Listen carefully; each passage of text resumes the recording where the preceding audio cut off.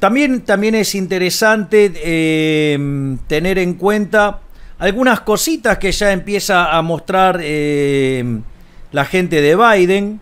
Hay un video de, del día de ayer donde una de las eh, personas que trabaja con Biden, ¿sí? una persona del team de Biden, básicamente casi que por poco llama a perseguir a los libertarios, porque básicamente están contra la existencia del Estado.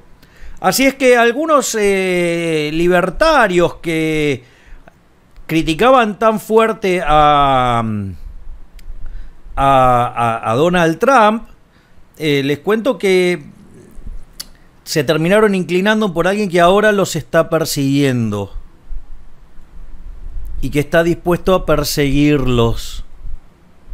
Ya, digamos, hay intentos de... A ver, empezaron con intentos de eh, restringir la, la comunicación de los no socialdemócratas o socialistas, lights, si ustedes quieren.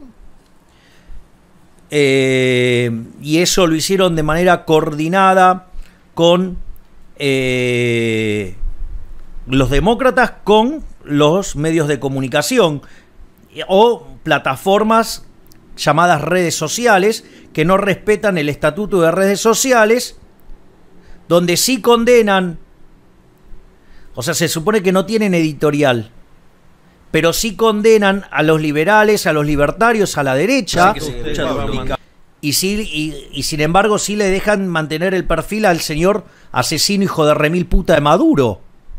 Interesante. Aparte, los libertarios, ¿cómo se toman el hecho de la que le hicieron caer la cuenta a Ron Paul? ¿Qué van a decir todas las cosas que dicen de Trump sobre Ron Paul? ¿Se dan cuenta? Imbéciles que nunca entendieron de qué iba la pelea. ¿Se dan cuenta que hablar sin contemplar las restricciones de Estado o condiciones de Estado es propio de un pelotudo? ¿Es propio de un disfrazado sin carnaval? Cuando se ponen a hacer teoría en el abstracto, yo no reniego de la conjeturación y la teorización en abstracto como marco de referencia. Lo expliqué 150 mil veces con lo que es el libro de Arrow y Han. digo que aparte de vuelta, ni siquiera necesitan eh, saber de topología ni nada por el estilo como para poder leer el libro. Solo necesitan comprensión de texto. Y dice que ellos no escriben ese libro porque crean en el modelo de equilibrio general competitivo como una aproximación a la realidad, sino que lo escriben como una forma de ver cómo moverse hacia esa realidad.